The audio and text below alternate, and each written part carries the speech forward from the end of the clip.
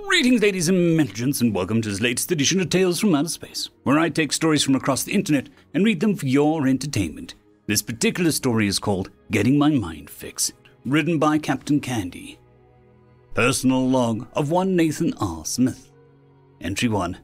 So, uh, it's been about a year now since we made it to space, and as soon as we did, some group called the Galactic Council came to meet us. Apparently, they had been keeping a distant eye on us for a while, and we caused quite the shock when we reached FTL. Earth is something called a hell world. Apparently, no intelligent life is supposed to survive on Earth. But, uh, here we are. Anyways, I'm rambling. Uh, I got approached by a marshal today. He said that I was one of the nominees for some sort of mission for furthering peace between us and the Council. Uh, I guess I'm considered rather normal, at least mentally, and my multiple degrees in essentially all things psychology made me uniquely qualified for this mission. Allegedly, there is some race in the Council that is a psychic and can repair the minds of other races from essentially any and all ailments. I plan to say yes. After all, I can see firsthand some of the patients I've been caring for and trying to cure for the better part of a decade get better. Not only that, but my mind will be the one template used as the normal model for all mankind. Kind of hoping I get chosen to go. Entry 2. Well, it's been a week now since I said yes, and I've been chosen as the representative to go by default. Everyone else apparently said no. I leave for the colony on Lunar in two days, and we're getting picked up by the Galactic Council ship for the sake of saving time, as their methods of FTL are faster than we can even fathom right now. I'm nervous and excited as hell, if I'm honest. Apparently, I get to choose patients from my own facility to bring to. I already know the cases I'm bringing. One is Suzanne, a little eight year old girl who lost her parents early in a large car accident that also gave her a disability. She has trouble learning, and when she does remember information, she tends to learn in reverse. If you teach her that 2 plus 2 is 4, then she'll recite it a week later when asked as 4 equals 2 plus 2. This doesn't sound that bad, but imagine learning as fire is cold or do not enter as enter. It can be dangerous to say the least. The next is Sam. He's 16 and has memory issues. He can't remember anything past a few minutes, ever since he got beaten by a particularly aggressive bully. The last one is Abel. He's 15 and has a neurodegenerative condition, and his mental faculties are degrading quickly and he's almost a vegetable state now, despite my best efforts and treatments. I really hope the psychic space doctor can help these kids. I know I've tried, but I couldn't quite cut it. Entry 3. Okay, a few things. First of all, Earth looks beautiful from the moon, like a giant sapphire that has splotches of emerald mixed into it.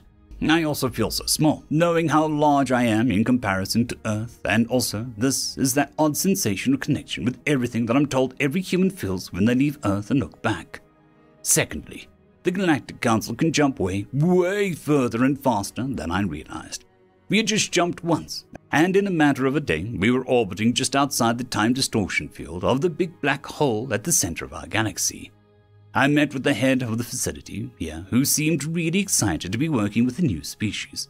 She is squid-like, but her manipulators seem to be made out of fine strings, almost like thousands of human hairs that she could control at will. Oh, and she was floating, like levitating off the floor, so definitely actually psychic, which is amazing. We start the procedure tomorrow. I guess it's a simple little thing. I sign a form and give permission for her to scan my mind with her own, and once mine is mapped out, she starts to work on repairing the minds of my patients. I'm excited, but also the idea of someone else looking into my own thoughts and entire brain, including my memories, is rather unsettling. Entry 4. So, a lot happened yesterday. I sat down with the head of the facility, Dr. Amelia. Strange to me how her name sounds so human, but hey, I won't complain. I explained to her the id, also the ego and the superego. I told her about the subconscious and the general approximation of the composition of the human brain, how the left and right handle different things. I told her about the subconscious intrusive thoughts and a few other basic things. After I got done explaining all of this, she placed a few strands of her hair like feelers on my head and began to scan. It felt like thousands of feathers tickling the inside of my skull. It wasn't wholly unpleasant, but definitely not ideal. It only lasted a few seconds, however. After that, Amelia stopped and floated to the ground in a lump that looked like a jellyfish on a beach. I hollered for one of her assistants, who, instead of panicking, just huffed. I guess Amelia overworks herself a lot, trying to help as many people as possible, and this is far from the first time she's collapsed from exhaustion. The assistant said that Dr. Amelia would be back in a week at most when she recovered and got some personal time. Hearing that made me relieved, but also made me smile. It was good to know that this was a dedicated doctor, like myself, who did everything in her power to heal her patients. It was hard to find doctors on Earth who didn't just want a fat paycheck and actually wanted to cure their patients, not treat them. I look forward to the next session to see what the progress that we can make. Entry 5. Dr. Amelia woke up today, and I got some news from her that I was going to take a lot longer than she thought to fully scan my brain. Apparently, human brains are significantly more complex than most other species. The mission time just went up by a few extra months if it's quick, and a year if it's slow. Entry 6.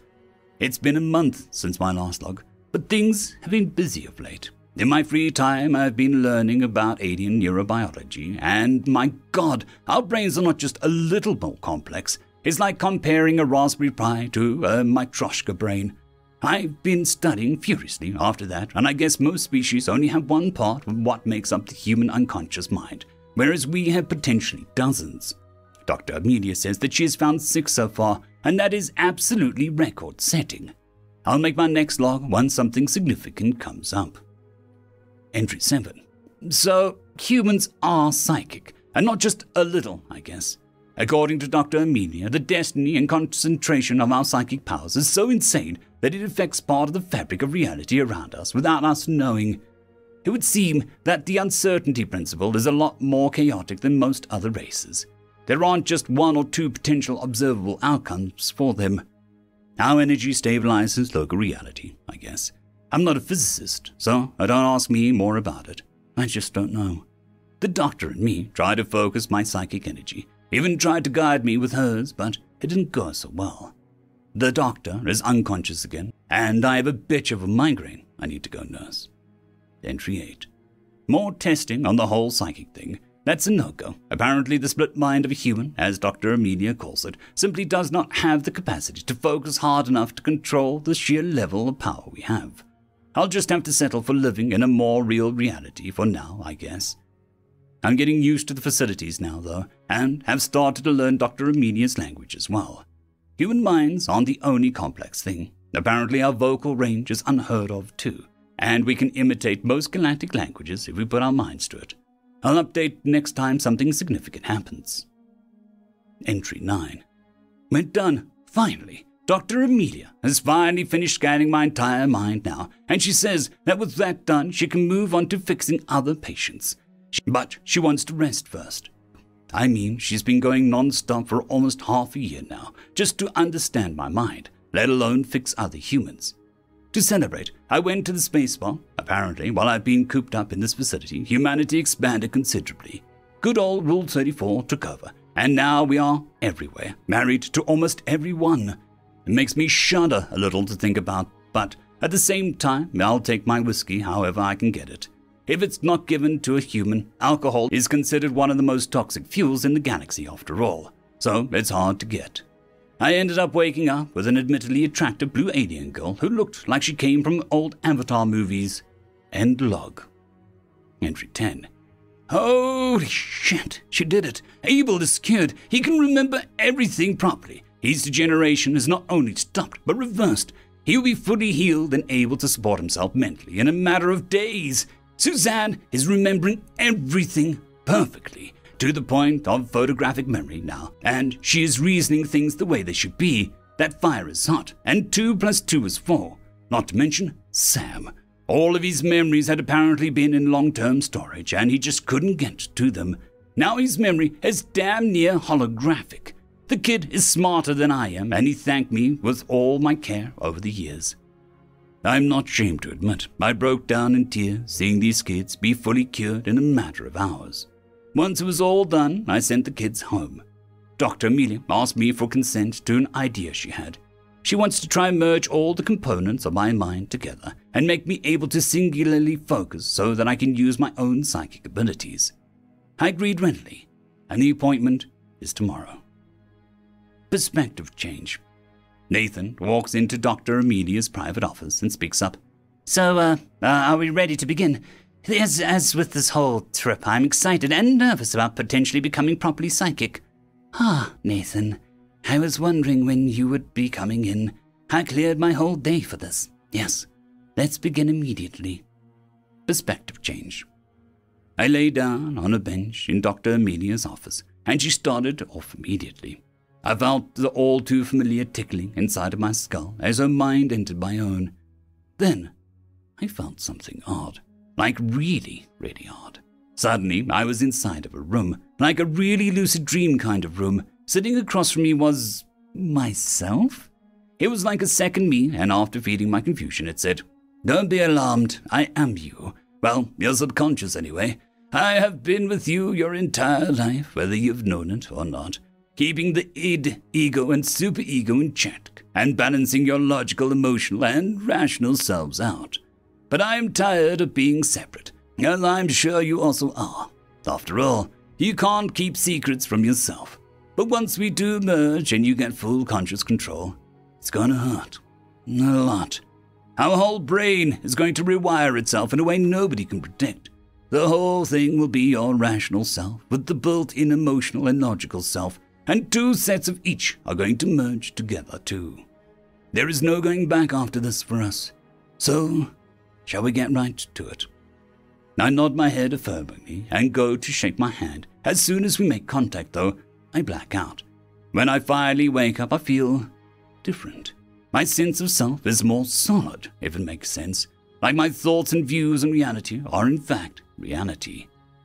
Then I feel it. My psychic power. It is overwhelming at first, and I can feel my own ability to mold reality and even break it over my knee if I want to. Dr. Amari didn't merge my selves. She cured me on a mental illness all humans have, but none are aware of and I opened my eyes. To say I see a whole new world would be an understatement. I can see the laws of reality in front of me and know innately how they work at a glance. I understand things that before I just had no possible way of connecting the dots to. I feel almost fifth dimensional. I can't say fourth because I can very much see time as a physical construct in front of me right now. So I think I'd reach that level for a fact.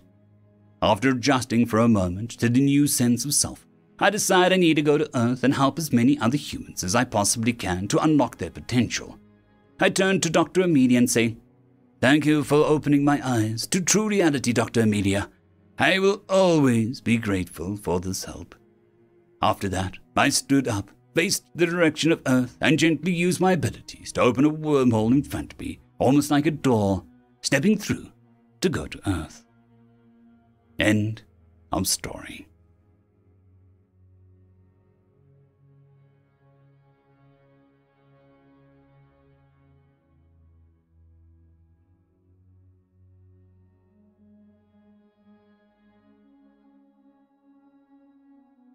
I would just quickly like to thank the T5 peeps Dragon Soup, Cold War Boomerwaffen, Severin Cerberus, Red Panda 121, Leslie 517, Bushmaster 177, Caspar Arnold, Cam Maxwell, Sans the Skeleton, Light Jock, Dragzoon WRE, and Lord Asrigal. Thank you very much.